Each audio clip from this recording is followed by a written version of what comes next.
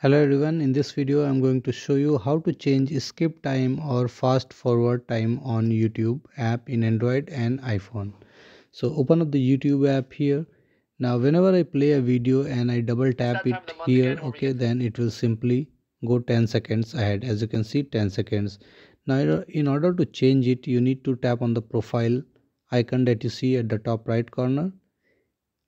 Now you need to tap on settings at the bottom once you're here you need to tap on the general tab at the top. Tap on this one. Now you can see one of the options in the middle as double tap to seek which is which says 10 seconds. Okay simply tap on this one.